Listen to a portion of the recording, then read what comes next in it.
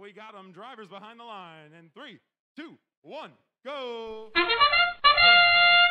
The blue line's going to be first alliance to score here in the autonomous period. And the human player sinks it from the half court shot. While their robot counterparts also score, but not from the half court shot, but still.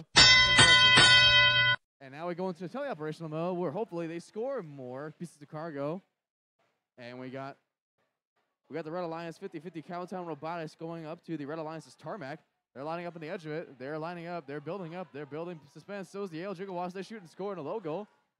Cowtown shoots and scores, go up high. 618 goes high as well, and so does Treasure Robotics. It is points galore here on the Belleville Yacht Club field. As 6152 is joining them as well as they score. And Cowtown Robotics is lining up in front of the Red Alliance tarmac as well, and they will pick up some cargo. Uh, Charger Robotics is now mo- they're moving. They're good. They're good. Not I just misspoke. Anyway, Cowtown shoots and scores, and the Alliance captain 245 AdamBot shoot and score as well. On the edge of the Blue Alliance's tarmac, and uh, Blue Alliance shoot high, but Red Alliance shoots high. One, two, three, kind of four, four car pieces of cargo inside of the high goal, and 6152 shot, but it was well, well short.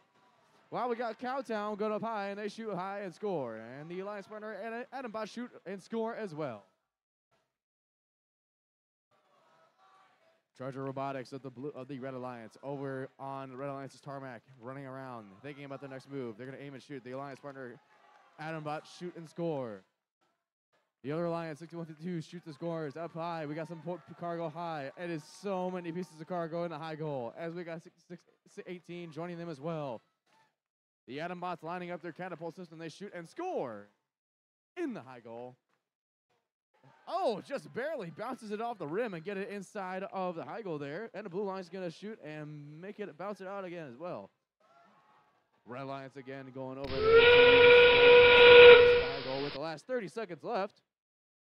Red currently in the lead, 70 to 46.